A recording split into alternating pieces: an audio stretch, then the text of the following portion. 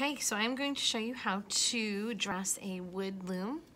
First, you're gonna need your um, spool right here and the scissors and some tape. Then we're gonna take one end and we're gonna decide if we wanna string um, the whole loom or if we wanna just do part of it. You can see there are all these little notches here and you could, you do have the option of using all of them or you have the option of skipping them or just um, using a few. So once you decide, you're gonna stick the end through here and wrap it around a couple times like this. So it's through one of these notches, these wooden notches right here. Then I'm going to run it down to the corresponding notch on the other side and put it through like this.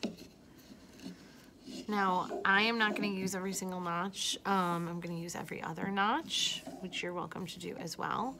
So then I am going to skip over uh, one notch right here. I'm not going to use this one, and I am going to put it around it and run it through the other notch right here, and then back down this. And then when I get to the other side, I'm going to do the same thing. I'm going to skip one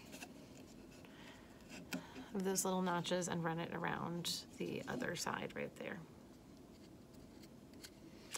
Um, and then you're just going to keep going, running this string back and forth, um, keeping it, making sure, you know, it's really pushed back so that these little loops that go around the notches don't slip off.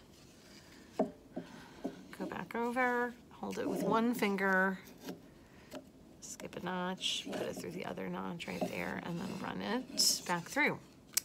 Um, as I said, you can use the whole loom. You don't have to. You can just use part of it.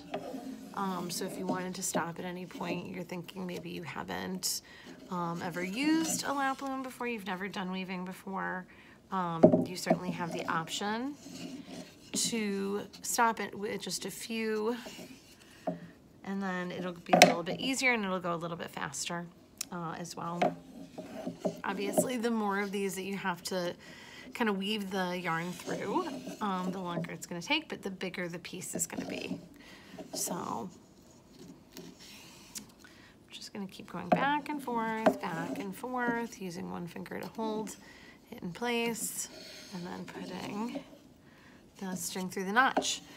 When I have decided, I'll move that over, um, that I'm done, you are going to make sure that uh, all your strings are pretty tight.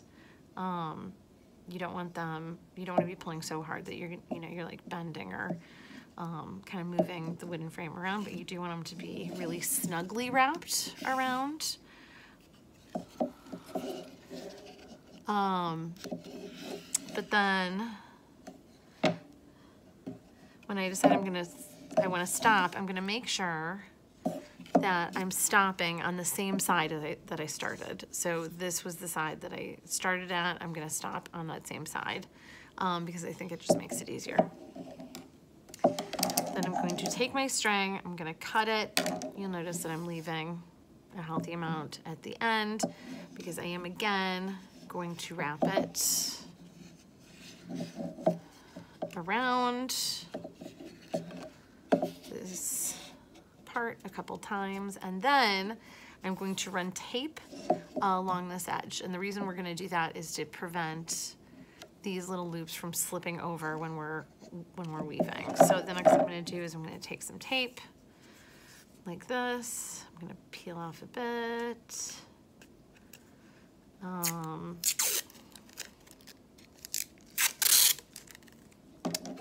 then I think I have the right amount. I'm gonna go ahead and rip it.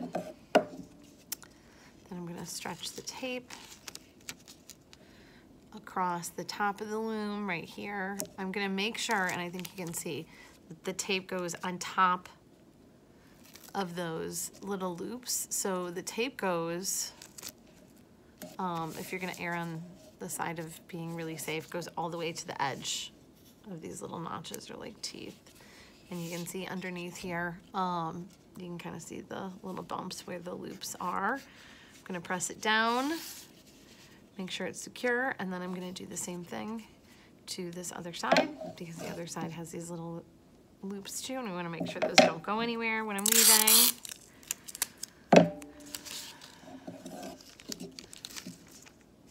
And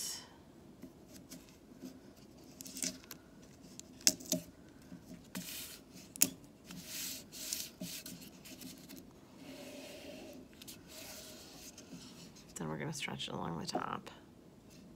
Uh, so you have tape on one side, tape on the other. Then you'll probably notice um, that sometimes there's somebody who's written their name there. Uh, you can go ahead and erase that if you want to. It should just be in pencil and use a pencil to write your name on the wooden part of the loom right here.